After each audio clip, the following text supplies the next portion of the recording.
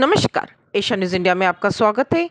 मैं प्रिया, आपके साथ आइए देखते हैं देश विदेश की कुछ प्रमुख खबरें। ब्रिटेन से लाएँगे छत्रपति शिवाजी की तलवार। गुजरात में दसवीं और बारहवीं के पाँच लाख बच्चों का पूरा डेटा छह छह हज़ार में कोचिंग को बेच रहे हैं। चीन के नौकरशाहों को देश के राष्ट्रपति शी जिनपिंग के विचार को पढ़ना होगा। गुजरात में अहमदाबाद में गांधी आश्रम के तिरपन मकानों पर बुलडोजर चला। अमेरिका में फॉर्म से भागे एमू को पुलिस ने 32 किलोमीटर तक पीछा करने के बाद पकड़ा।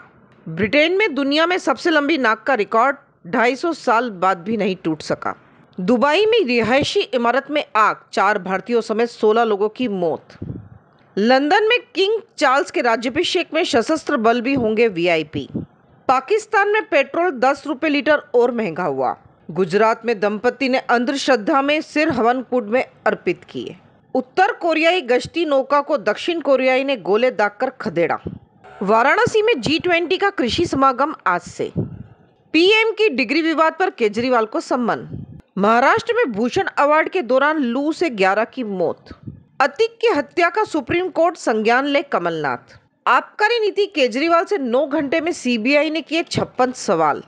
कोटा की नंदनी गुप्ता बनी फेमिना मिस इंडिया बाकी की तमाम खबरों के लिए बने रहिए एशिया न्यूज़ इंडिया के साथ। धन्यवाद।